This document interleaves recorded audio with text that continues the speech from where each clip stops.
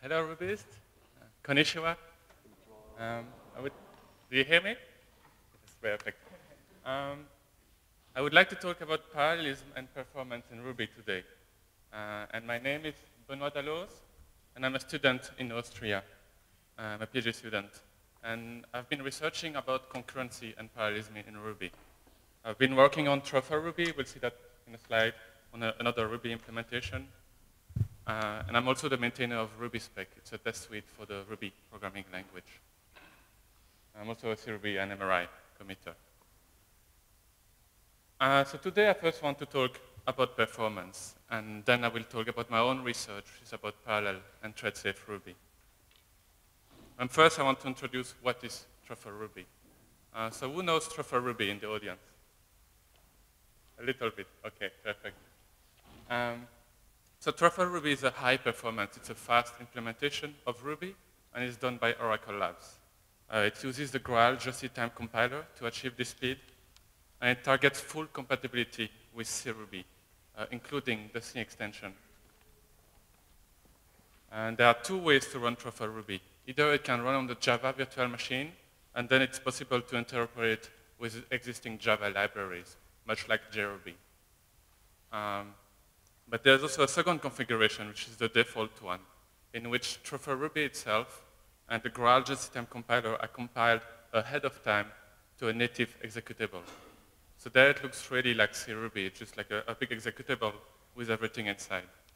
And this mode, it starts very quickly, so it's even faster on startup than MRI, for instance.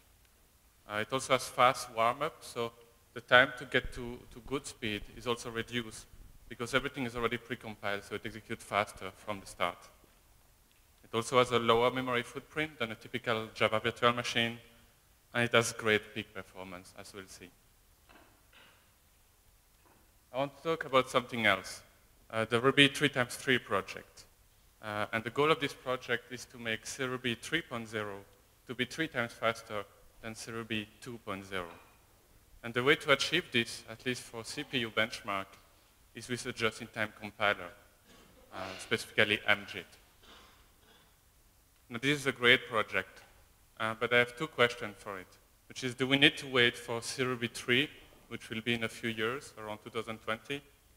And can we be faster than three times CRuby 2.0? And to answer this, I want to make a demonstration. Uh, I will run Optcarrot, and this is the main CPU benchmark for Ruby 3 times 3. It's an S emulator written in Ruby by Mame.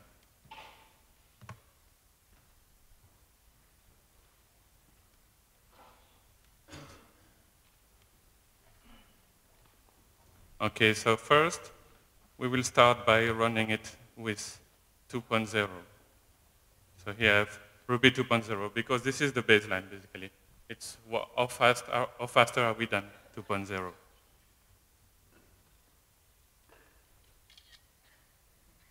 So here I'm playing the, the Lan Master game, which is a default game of the simulator. Um, and as we see, the speed is not that great. It's around 28 FPS, so around 30 frames per second. But the NES simulator normally runs at 60 frames per second. So it's about twice too slow. And if we play a little bit, we see it's really slow. It takes time to, like for instance, just to move the cursor around takes already a very long time. So we want to improve on this. Uh, so what we can do is we can try the latest MRI, which was released yesterday, uh, 2.6 Preview 2. And then we can run it normally here, and you see it's already faster. It's around 41 frames per second. So that's already a good 10 frames per second faster. Now, also in the latest uh, MRI, there's MJIT. We can activate it with the dash dash JIT flag.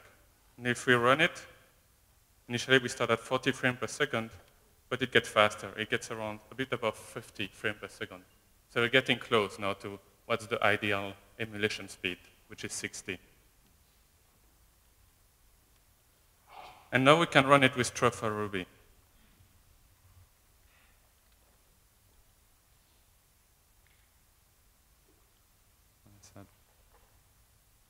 Like this. And there it starts up slower. And the reason is here, the JustTime compiler is warming up. It's learning how the program behaves, but then once it understands it, it will get much faster. So here it's terrible, it's 7 frames per second. But here, soon after,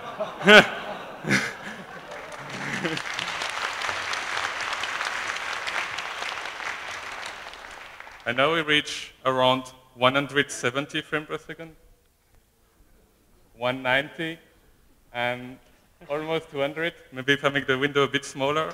Oh, I started the game. Well, that works too. So again, now it needs to learn, oh, what, what did it do now? But it will optimize again very quickly. Uh, and so now I'm playing like really fast, right? so this is quite tricky because I'm standing. uh, but I got good at this game uh, with trying it at the end. so this is quite cool, right? Now I can really move fast around the board. And so the goal of this game, as you notice, is just to connect the different computers um, and to connect them all like a network. It's quite tricky sometimes.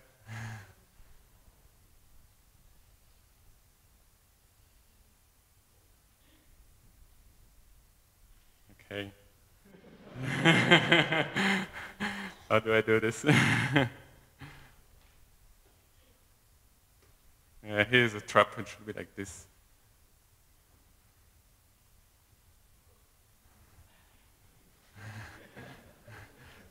Okay, I still have 26 seconds, but actually they're no longer seconds, right? Because the time goes three times faster than normal. So it's like a third of a second.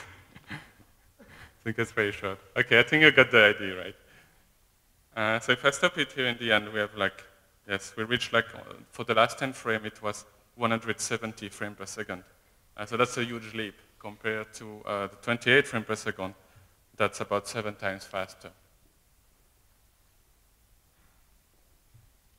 So what we saw here uh, is that the performance of Optcarrot is really great with truffle Ruby. And so this green line is truffle Ruby here. At the beginning, it needs to learn the program. Then we start the game, it also confused a bit. But then it's really fast. And so we, when we run it, we thought the graphical user interface, we can reach almost 300 frames per second, uh, which is like five, uh, which is five times faster than the goal of Ruby 3 times 3. And we see there's a huge gap with other implementations. So there's like something we do really better here, and this is what I want to explain today. Now this is just one benchmark, of course, but there are other benchmarks, and on many of them we perform well, especially when they are like CPU-based benchmark. Uh, and so this is some, a set of classic benchmark from the computer language benchmark game. And here we see we often get speed up from 10 to 30 times faster than CRuby 2.3. Uh, and there's a couple of exceptions like pidigits, and this benchmark only computes big num, so it doesn't really exercise the Ruby implementation, just the big num library, so there we don't get any speed up. But for the majority of them, there is a very significant gain. Um, if we run mjit, so mjit is the JIT for CRuby, if we run their own micro benchmark, which was developed to assess the speed of mjit and check optimization there, uh, we see we actually run it extremely fast. We run it 30 times faster than CRuby 2.0, while mjit itself run it about four times faster. There's other area where Ruby is extremely fast. One example uh, is on rendering ERB templates, and I would guess it applies to also other templates. Uh, and they were about 10 times faster than MRI 2.3. And the reason of this is we have a different string representation. This was explained by Kevin Menard two years ago at uh. If you, you can have a, a, look later if you're interested. There's other stuff like eval, Kernel binding, proc and lambdas. It's all stuff we do extremely well on, uh, but I don't have time to detail more in this talk. The, uh, the big question is, do we run Rails faster? And uh, the answer is not yet. Uh, so we are working on running Discourse and the Ruby Rails bench. Um, and so far, the database migration and the asset pipeline work, although they need a few hacks here and there. Uh, and so we need to integrate this hack properly and do the proper fixes uh, before we can really, like, everyone can try it, basically. Uh, it's very challenging to run Discourse. Uh, so we have one person uh, working full-time on this now for, for a couple months. And uh, it has many dependencies, over 100. and many of them are C extension. So we support C extension in general, and actually we already run like a few major ones, like OpenSSL, Zlib, Syslog, Puma, SQLite3, and UNF, and more. Uh, but it's still a challenge. It's, it's an active area of research and experiments, because currently we need quite a few patches, so we need to, to change the extension quite a bit in a few places, and we want to reduce this because, of course, it doesn't scale. Ideally, we'd like that you just run any extension and it just works on Truffle Ruby. Uh, but we still need work to get there, although we're making good progress already. So how is Truffle Ruby so fast? And there are mainly two reasons for this. The first is we use partial evaluation, which I will explain in detail, and then the GraalJIT compiler itself optimizes the code. Uh, as additional concern, just to give a bit of context, the core primitives, so like for instance, it, integer plus, are written in Java, and the rest of the core library is written in Ruby, much like in Rubinius.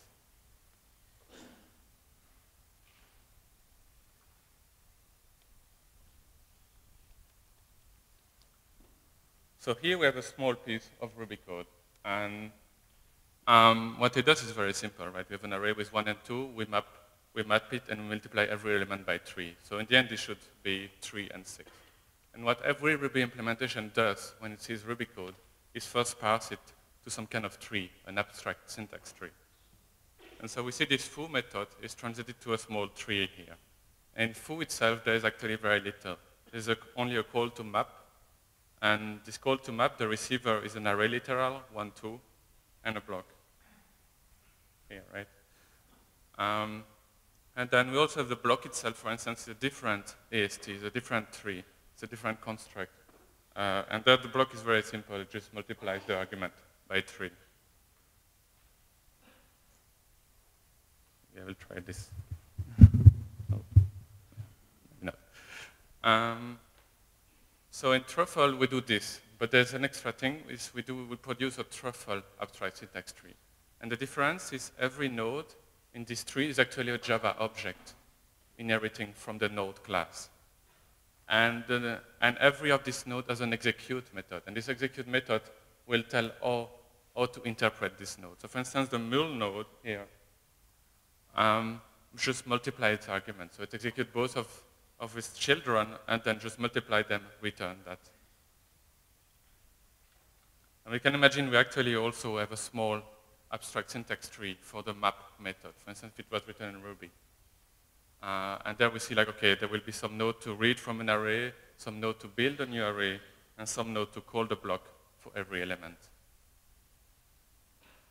So partial evaluation from like a more theoretical point here is like we take the truffle AST of a given Ruby method or Ruby block, and what we get is actually a compiler graph um, representing how to execute the Ruby method. We'll see in detail in a second.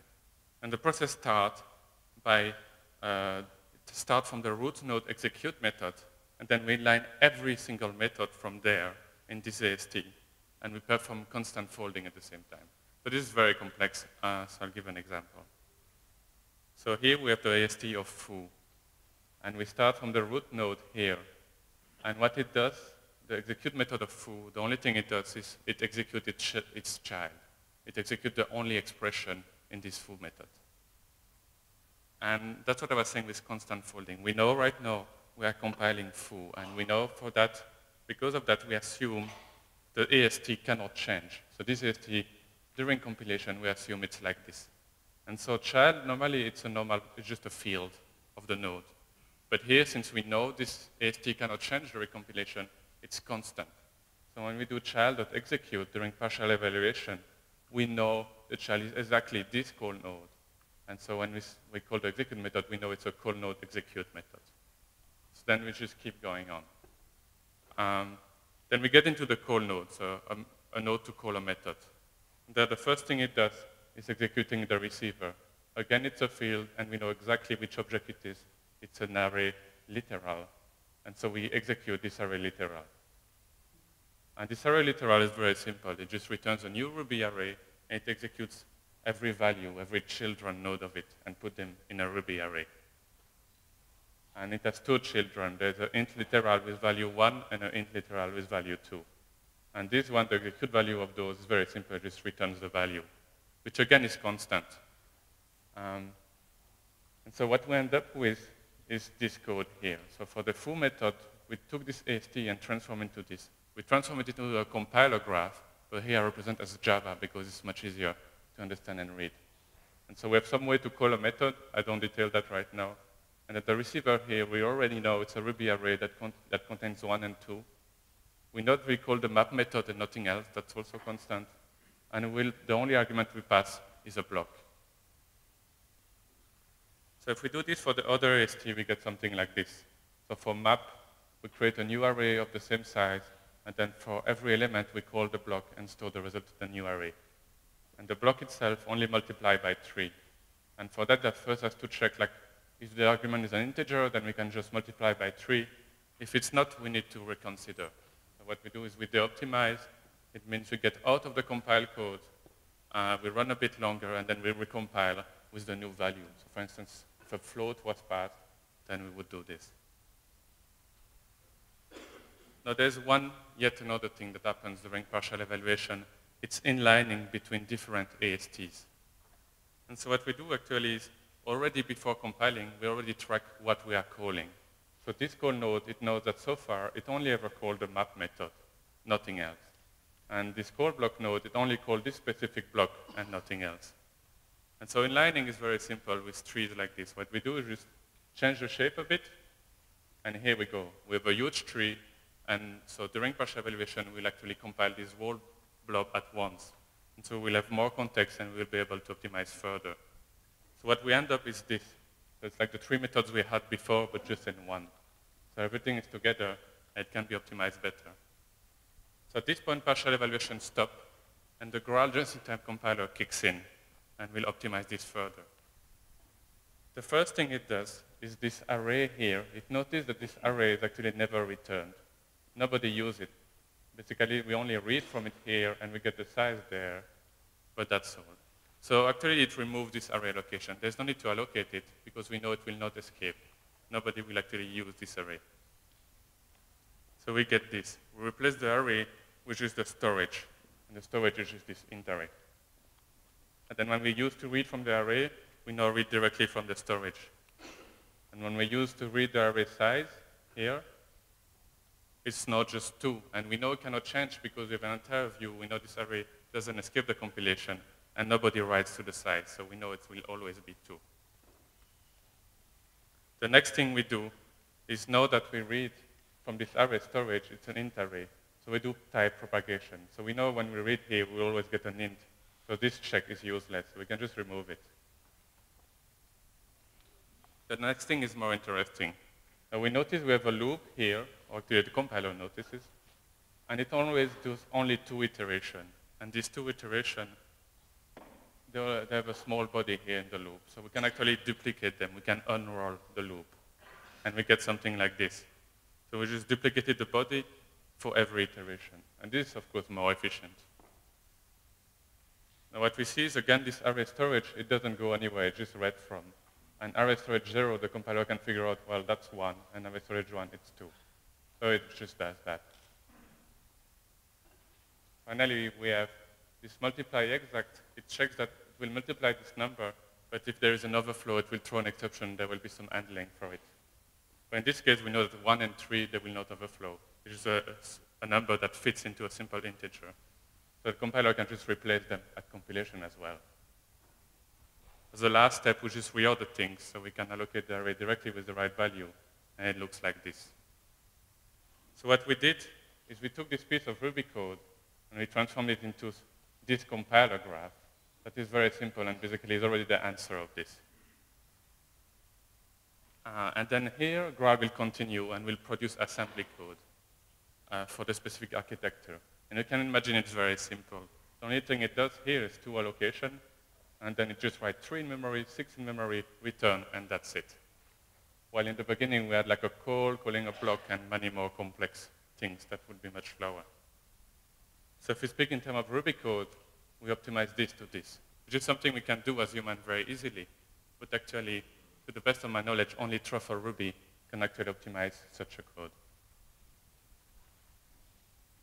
So if we look, for example, at mjit, the method JIT for Ruby, um, there the first step is uh, the same. So the Ruby code is passed to an abstract syntax tree.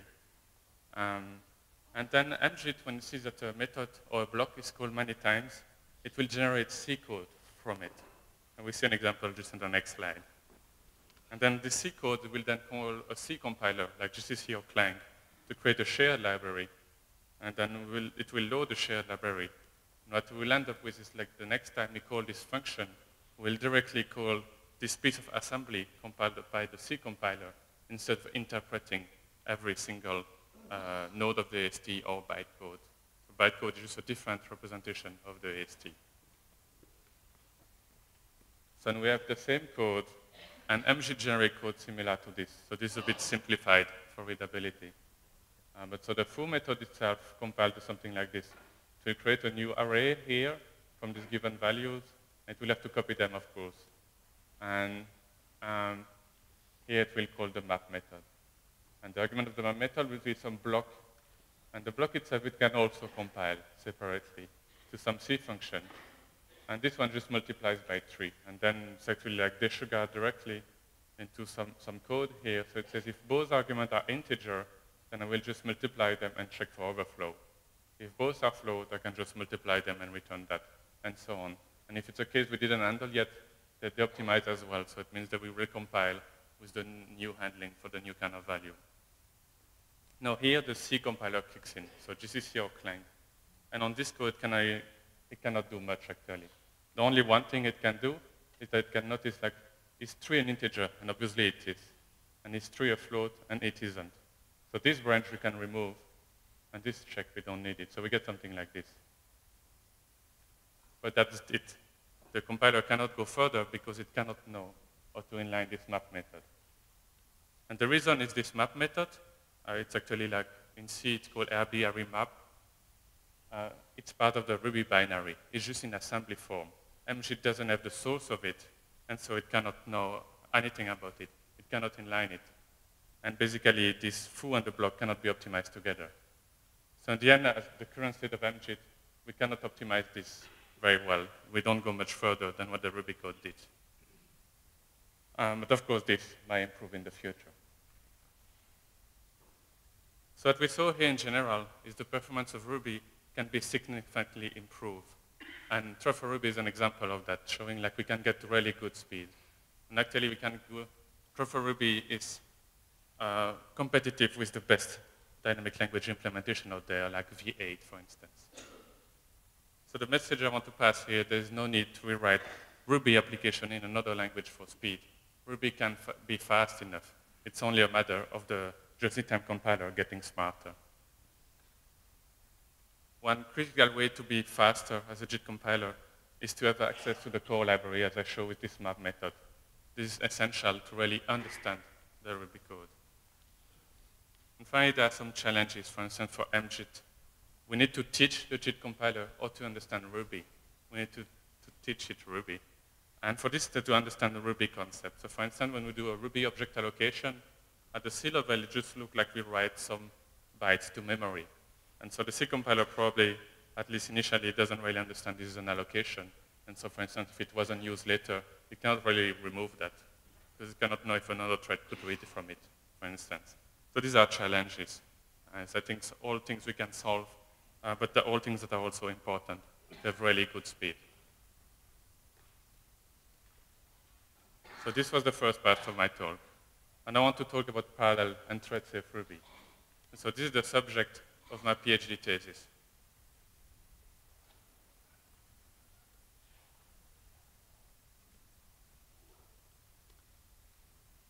So what I noticed and what I wanted to work on is that dynamic language, not only Ruby, but for instance JavaScript and Python as well, have poor support for parallelism. They don't scale very well, at least in a single process. And the reason for that is due to the implementation. It has nothing to do with the language themselves, I believe. So let's be a bit more precise. So there are different kind of implementation. The first one is the global lock implementation.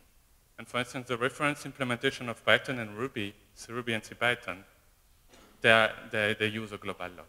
And what this means is they cannot ever execute Ruby code in parallel inside a single process. The only way they have to achieve parallelism is to use multiple process or fork, which is the same thing. And this wastes memory because usually it duplicates a lot of the structure. It's also results in extremely slow communication. The different process usually avoid communicating as much as possible because this is so slow. Then the second category is maybe more uh, interesting, let's say.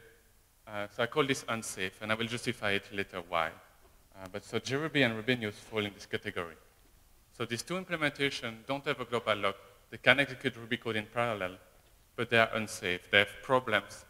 Basically, they don't have the same guarantees that MRI or CRuby provides. And so if we have a concurrent array happen, I will show in detail later, we see it can raise exception, which is something that is deeply wrong from a user perspective. Finally, we have a third category, and this is the shared nothing category. So in there, we have, for instance, JavaScript, Erlang, and the guilds as well. Uh, and there, it's a, it's a different model. So we share nothing or we share little, uh, and so it restricts what you can do. So you cannot pass object or collection by reference between threads. You cannot pass mutable state between threads. And that's by design. There are advantages from that. But so the solution is instead to do some kind of copying or to only pass immutable data structures. And so Guild, it's a solution maybe for Ruby 3, and I want to explain a bit more what I think about it. So on the very good part, it's a stronger memory model. And because it has almost no shared memory, no shared mutable state, it has no level, no low-level data races. So this is great. This is more intuitive for the Ruby user. But on the other end, there's the capability, which we are used to in Ruby, which is we can pass object and collection between threads or between multiple entities collaborating together, which is no longer possible with guilds. There we have a choice to either deep copy it, and this can take a long time if it's something big, or transfer ownership. So we transfer an object between different guilds. But this doesn't work for sharing, because when you transfer, it's only usable by the destination guild. It cannot be used by the source guild anymore. So basically, it's no longer possible to share like a big data structure that is mutable between multiple guilds. It's also unclear how it will scale. Uh, part of it is this copy overhead. This doesn't exist in a sequential program, and now we have this extra overhead. Of course, this can be optimized to some extent, but still something that exists and is there. Um, and another thing is the only way to, to really handle shared mutable data is put that in their own guild. So a guild itself can have shared mutable data inside, but it cannot ever give it to someone else. Uh, and the problem is that if it, there is a single guild containing the interesting shared mutable data, then all guilds will likely access it. And since a guild only runs sequentially, it means it, will, it can become a bottleneck. So scaling is hard, no matter the approach. Uh, so this is like consideration for guilds. But even in other models, like in shared memory, it's not always easy to scale either, of course. Um, a more important point maybe is that existing library using Ruby threads cannot just change thread.new to guild.new. That doesn't work. Um, so basically, they need some rewriting. They need some rewriting in order they cooperate together. Um, because it's a different programming model. It's called the actor programming model, and we are not used to it yet in Ruby. Finally, I think guilds are a complementary approach to what we have with threads. Uh, some problems, for instance, are easier to express with shared memory or with threads than in the actor model, but the opposite is also true. Uh, you can imagine some rendering, like had in Optcarrot, maybe we can parallelize this. Uh, we can say, like, we have this big picture, and we can say thread 1 does this part, thread 2 this part, thread 3 this part, thread 4 this part. And so we can imagine directly rendering to a big array. And this is actually something that is difficult to do with guilds or require extra copying. On the other hand, there's also a scenario where it's just easier to actually model it in an actor model. So I was calling JRuby and Rubinius unsafe earlier, and that's a very strong statement, and I want to explain why. So here we have some Ruby code. So we create an empty array, and then we create 100 threads here. And each of the threads, what does it do is it appends an integer, actually it appends 1,000 integer to the array. Then we wait for every thread to finish, and we print the size of the array. So the answer should be 100 times 1,000 integer, it should be 100,000. And sure enough, if we run this on C-Ruby with the global lock, we get the right answer. Of course, we have no parallelism whatsoever. This thread executes sequentially, but we get the right answer. And that's very important, of course. On the other hand, if we run this on JRuby, which execute threads concurrently or even in parallel, we get a completely wrong answer. We get some random number here, and what does it mean is that actually some of the append operation, they disappear, they got lost. And for the Ruby user, this is very hard to understand. Why should this happen? Or worse, maybe even, we get an error. And this is not only JRuby, it's also Rubinius, it's just a different error. And this is extremely ugly. Nowhere in the array append specification or documentation does it say, it might throw an error or it might not happen. No, it always happens and exactly one element, and that's the semantics. Now, of course, JRuby and Rubinius don't do this for fun. They don't hate their user, of course. The reason they do this is performance. I'll explain that a bit later. Uh, but first, what, the, what and Rubinius propose to work around this problem is actually either use a mutex or use concurrent array new from concurrent Ruby. It's a, it's a Ruby gem. Uh, and there what, what they do basically is they synchronize on every operation touching the mutable array. Now there are many problems with this approach. The first one is it's extremely easy to forget to use this mutex synchronize or to use concurrent array.new. And people need to use this construct on every single operation on, uh, or every single array or collection that is shared or can be used by multiple threads. And this is extremely hard. When we look at the source of a program, it's not easy to figure out can an array used by multiple threads. For instance, all array in constant, in like in Ruby constant, can technically be used by multiple threads. And we don't want to synchronize all of that. That would be a huge overhead. A second minor problem is that the synchronization might be unnecessary. So for instance, on MRI, synchronizing like this is not needed. And so it adds overhead for no gain on MRI. Also, both of these solutions, they prevent parallel access to the array of hash. So every access to the array of hash is sequential. And this is just because of the implementation of this mutex and the implementation of this. Uh, but parallel access is actually common in parallel workload, in parallel benchmarks. So it's something that this approach is not good at. And finally, I think this is the most important point. From the Ruby user point of view, you didn't expect what I saw on the previous slide. And they expect that everything behaves similarly to what MRI does. And so for them, it's just plainly incompatible. It's something that is just wrong.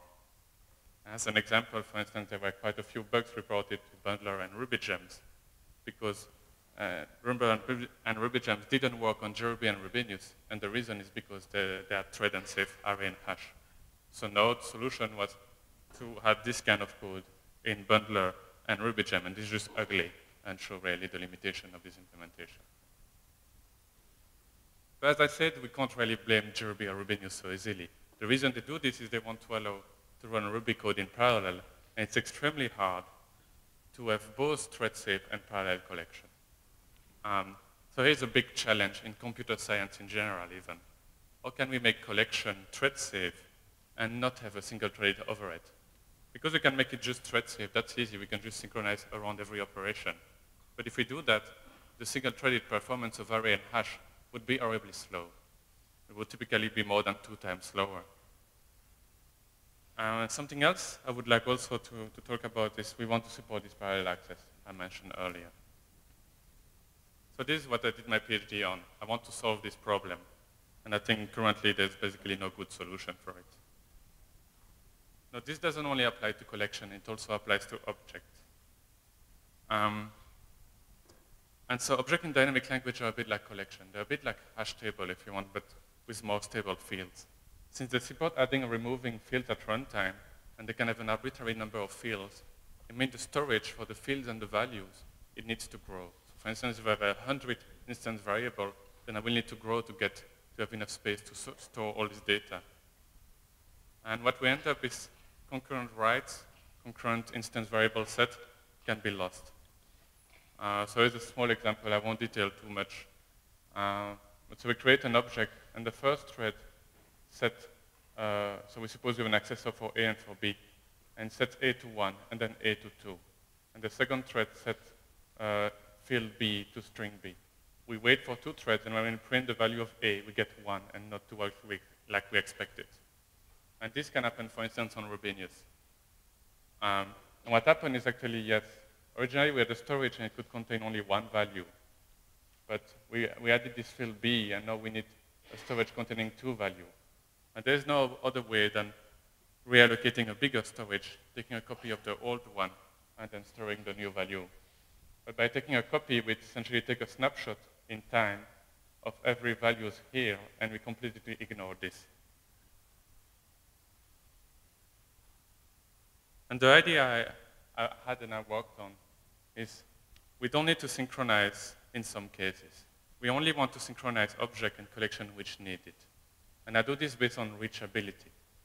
So what I mean is like when an object is reachable, only accessible by one thread, and we'll see how we track this later, it doesn't need synchronization. Because simply it can only be accessed by one thread, it cannot be accessed concurrently. On the other hand, if an object or a collection is reachable by more than one thread, then it will need synchronization. So we have something like this. We have two threads here, and the first one points to a queue, a message, a hash, a key, and a value. And the second thread to a graph with a few node objects. Initially, these objects are all wide, they're all local, and they don't need synchronization. Now, what happens if we put the queue, for instance, in a global variable, we will share it with thread 2. And at that point, what we do is we mark this queue as a shared object, and we'll start synchronizing on it. But not only the queue, but also everything that is reachable from it, because now thread 2 can potentially access everything here. And the reason, for instance, you could pop an element from the queue and get this message and mutate it. Uh, so this is really like reachability. Like as soon as you get a pointer to something, everything that from else from there has to be shared. And the way we track this at runtime is when we write to a shared object or to a shared collection, we also make the value we write into it, we also make it shared. So if we write to the field of some shared object, we will share everything here, so the hash, the string, and the object. And the same thing for collection. If we append to a shared array, then we will share this object. And if we add an, uh, a mapping to a hash, we will share these foo and bar strings. Now, the advantage of this approach really is that it has no overhead over single-thread performance or objects which are local, which are wide. And actually, this is the majority of objects. In most programs, actually a few objects and collections that are shared. And so we can afford there to have some overhead and synchronize. But for the vast majority, we don't need any overhead. And so what we get here is with this unsafe, it's like truffle Ruby without thread safe object, basically. And green is the approach synchronizing on objects using this sharing, as you showed. And we see there's basically no difference. Red and green are always the same. On the other hand, if we would synchronize all object writes, no matter whether the object is shared or not, uh, this is similar to what JRuby does, for instance. So JRuby uses some synchronization to, to avoid the problem on object. It would be much worse. You would see a large overhead even on single-threaded benchmark, something like up to 2.5 times here. And that's very bad, of course. We don't want to lose so much performance for thread safety. Now we can do the same for collection. We only synchronize if the collection is shared between multiple threads. If it's only accessible by a single thread, we don't need anything. And there we have the original Truffle Ruby and the Truffle Ruby with thread-safe collection, essentially. And we see there's no significant difference. And the reason for this is this benchmark a single, a single threaded. So there's no shared object in itself because there is no overhead. And I want to talk a little bit more about arrays specifically. So arrays in Truffle Ruby, but it's also in other dynamic language implementation, are represented in some kind of sophisticated way. So let's take an example. We start with an empty array. And actually what we say is that the storage strategy, like how we represent this array, initially it's empty. Just like we don't need any storage for it. We know there's nothing in the array so far. Then we, when we add an element, for instance, an integer here, we migrate to the most appropriate strategy. So here we would migrate to an int array strategy. Then if after, after we append some kind of object, we would migrate to an object array strategy. Now the advantage of doing this, like object array can store everything basically. But int array is actually much faster. It's much more compact in memory as well. It means we can store integer in only four bytes. when in most implementation would take 8 bytes or much more. Like if we have to box this integer, I feel it would take like maybe, I don't know, 30 bytes per integer, which would be too much.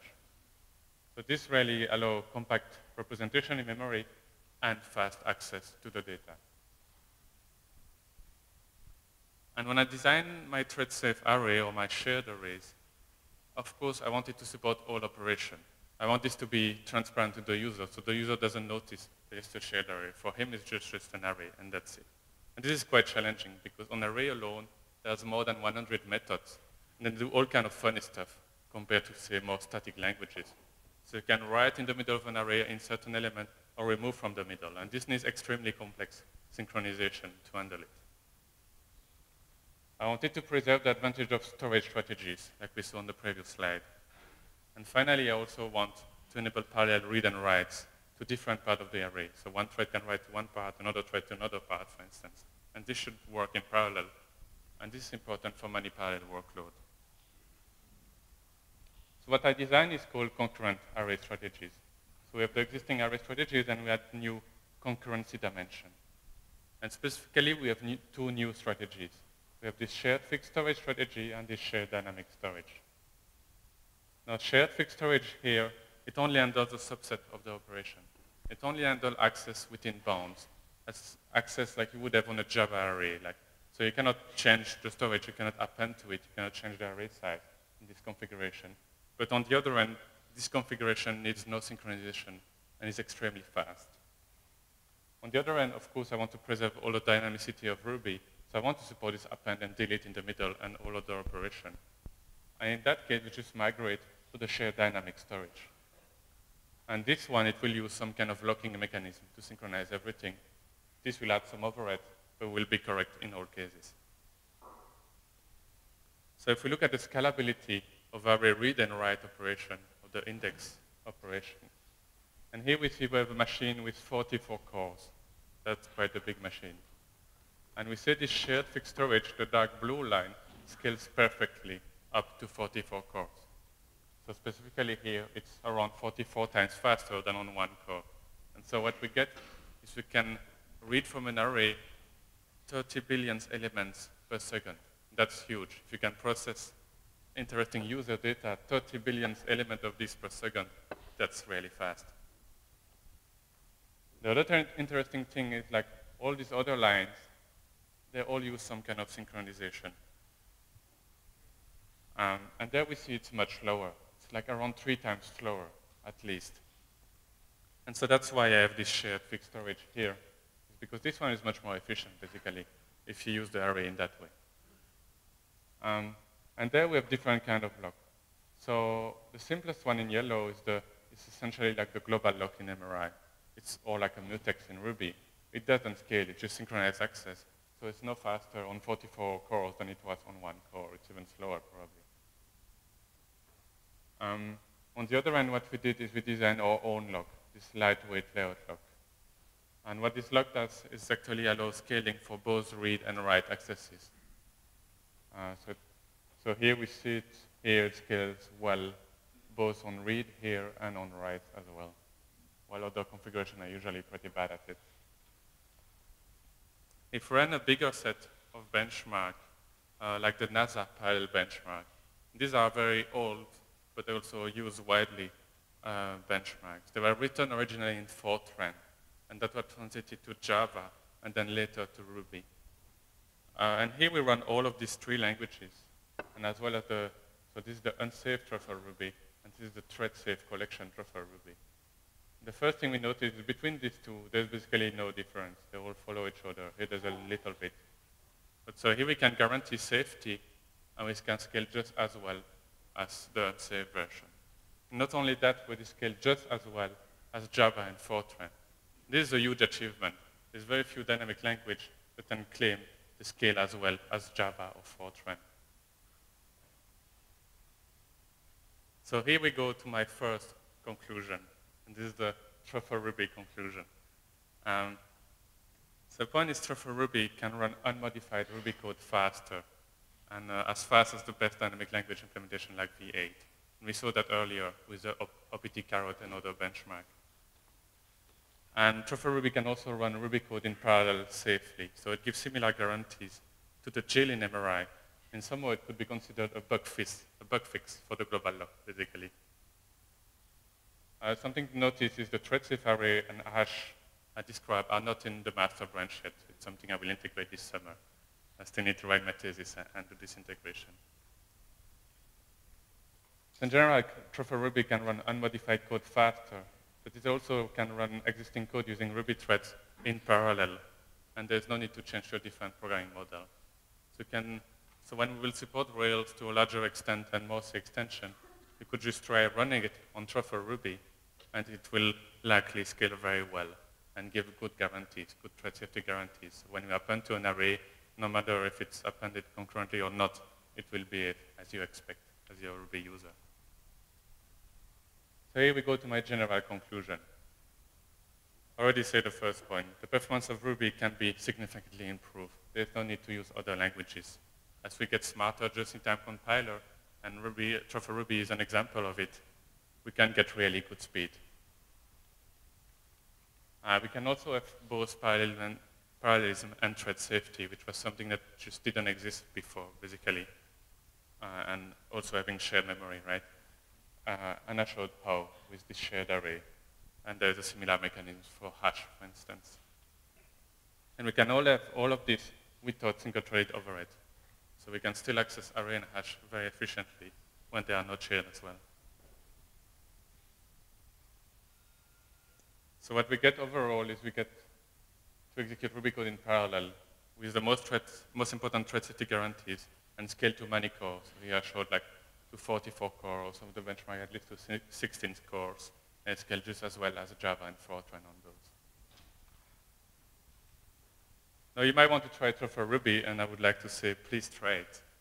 Um, and we're currently working on integrating with Ruby install, RVM, and RVM. Uh, and so this will soon happen. We'll have a, a release uh, in a couple of weeks probably, and then we will send the patches to all these different projects and you will be able to just do this try it, And then you can just change to one to Truffle Ruby, install it and change to it, and then you'll be able to try it for yourself. And we'd love to have your bug report and issue and whatever you meet, and also like good, uh, like good results you have with it. Uh, so we are just on GitHub, and you can just uh, file an issue there. Now, Truffle Ruby is actually a small part of a bigger project. It's called GraalVM. And the 1.0 version, the first release candidate, was released a month and a half ago. And if you're interested, you can go there to see more detail.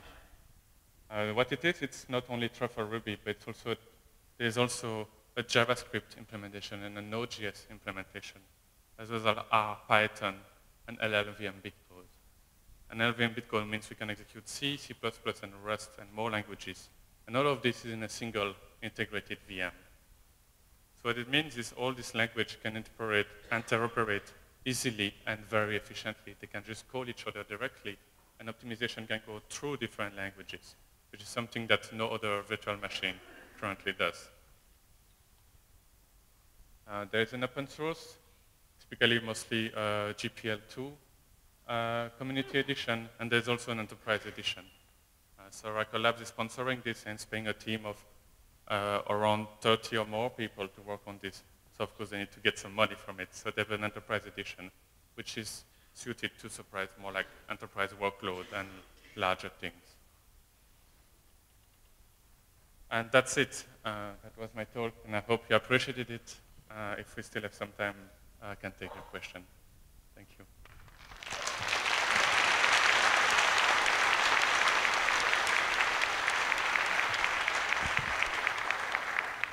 Thank you, Eric, thank you for an amazing talk. I guess you have seven minutes for Q&A. Would you like to do some, take some questions? Yes, sure. Okay. So please ask any question to, okay. Yes. Maybe go to the mic so um, everyone can hear. To the mic, please.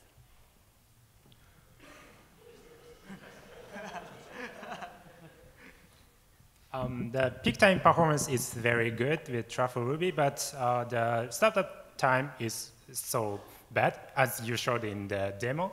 So is there any broker to improve that, or is that we can we solve that problem with partial improving the partial evaluation strategy or something others? So what is so bad? I didn't hear it properly. Sorry. Uh, you said something is so bad, and I didn't get what you meant. Um, so I want to ask, the, is there any blocker to improve the startup performance? Started. The initial, Of Truffle Ruby? yeah, Okay, so startup is good. Uh, I didn't show this, but uh,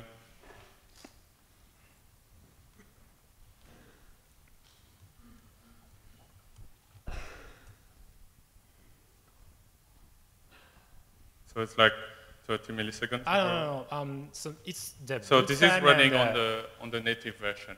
yeah, Uh, but, but on the on the on the JVM version, indeed, the startup is not so no, good. no, um, it's the kind of boot time, and uh, I Yeah, concerned the warm up with is bad, right? the some kind of FPS with OptCarrot or yeah. the So performance. this is what we saw uh, actually yeah, earlier.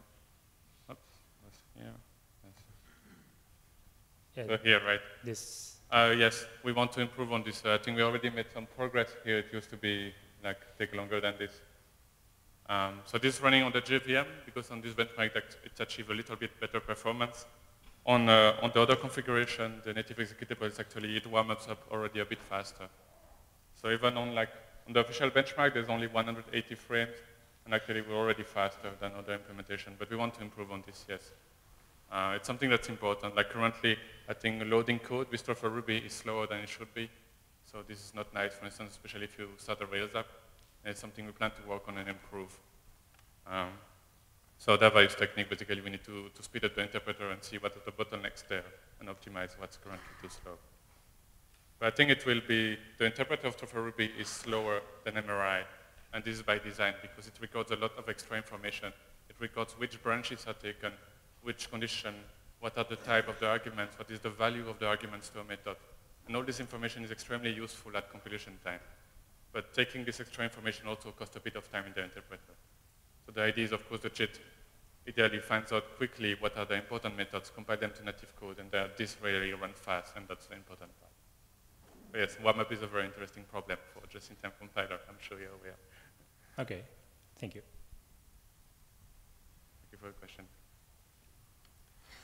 Uh, one, I just want to say thank you. That's super impressive, all the things you guys are doing. Um, have you guys looked into using similar techniques to what you showed for doing implicit parallelism, similar to what has been done in some pure functional programming languages? Uh, currently, we, we didn't research into that yet. Um, I think it would be possible, like with ideas from other implementation, also to do this. I think a general problem with implicit parallelism it's just often not easy to, to make it work for a large number of users. Usually, like kind of pattern-based or something like this, it only works in specific cases. It can break easily. So that's, I think, a big challenge in, in general. Um, I think, for instance, that, like in Rails, we don't need implicit parallelism there. The parallelism can be per request per user or something like this, so that's very easy. But obviously cases where it would be very beneficial. There can be some other form of parallelism, like for instance, using uh, vector instruction on the CPU or even using a GPU uh, directly. There was, there, there was research in Graal to do this, uh, and I think there's currently research to do this with Ruby too. So that's other ways to speed things up. If you have idea about this, please speak to me after, and we can discuss. Thank you. Thanks for your work. Uh, I noticed there are a community and an enterprise edition. Yes. Uh, is, uh, are the differences already written in stone somewhere, or are you still wrapping up the, the model? So this is on the, on the website, on graalvm.org, and there it's explained in a bit more details. I will send, uh, I think, yeah, basically I cannot describe much better than the website. Uh, there's some extra stuff for enterprise, like security stuff and so on. Basically, the community version is already as fast. The result I showed today uh, are basically all from the community version. Uh, so that's already pretty good. I think.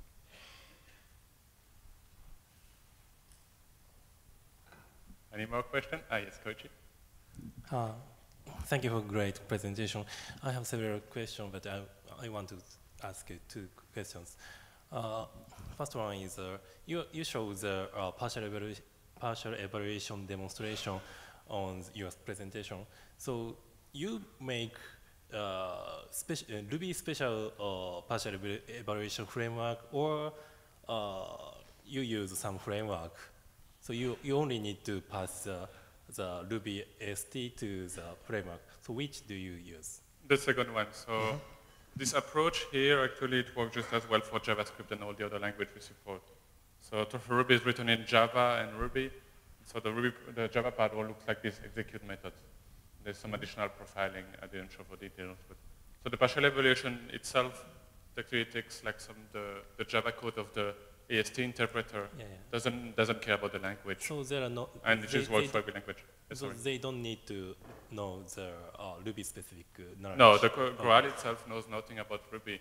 It just is like, oh, this is a, a Truffle AST interpreter, and the code we have there is, uh, of course, to us to like make it optimized and make it uh, understandable by Graal. Mm-hmm. Uh, this is actually relatively easy. Uh, it needs like some technique, but once we learn them, it's, it's quite easy. Uh, so actually, if you have uh, your own language implementation, I would encourage to actually try this is called the Truffle framework. It's on top of Graal and makes it really easy to make an efficient language implementation.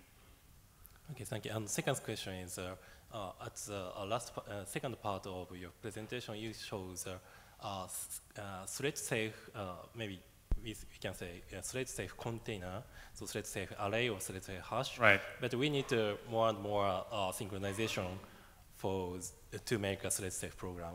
So, yeah, so if we, ha- if we have a thread-safe container, but we need to mo- uh, insert a mutex Right. to uh, to make a transaction or something like that. So I Right. think that it is not enough to make it more easy. Absolutely. Uh, so that's something I should have mentioned a bit clearer. Like, of course, to, to make a program thread safe, is not enough to make the container, like to make hash and array thread safe. Uh, and this is, the, this is the same on MRI, on CRuby. Uh, so here we try to replicate the most important guarantees that the global lock provides. And one of them was like this, for instance, this built-in collection, like array and hash, are thread safe themselves. But of course, nothing above. Above, it's your responsibility. Uh, this is just like, I don't think there's any technique to, to, really address that. Um, so here we wanted like yeah, to provide a safe environment. And when I call like this other implementation and safe, because I think as a Ruby user, one of the biggest guarantee of the global lock is that for instance, object and collection are automatically synchronized and they don't break when you use them concurrently. Okay, thank you. Excellent. I have another question. So how's the memory usage different between these implementations? Okay, uh, so actually on the on the native uh, mode here, it's actually better than on JVM. So on JVM is the typical JVM memory usage, so it's a bit bigger than what you expect, especially compared to MRI. Uh, currently on Substrate VM, I think at startup we use around 70 megabyte of memory, so that's much more than MRI, but it's still kind of reasonable. The JVM usually use over two or 300 megabyte at start. And on the other hand, with the array we saw, like this int array representation, we actually use only half the memory that MRI uses to represent an array with integer in it. So there are possible gains in there and optimization. But in general, like MRI also figured out, if we use a just-in-time compiler, we usually trade a bit of memory to have increased efficiency, increased speed. So indeed, the just-in-time compiler needs more memory than without it. Uh, but it usually pays off because your application runs much faster. But of course, it's no good like if you wanted to, I don't know, embed this in a tiny device, then it's probably not the best implementation for that. Sure. Thank you. So thank you very much, Eregon. This is this was a great keynote. Um, thank you very much. Thank you.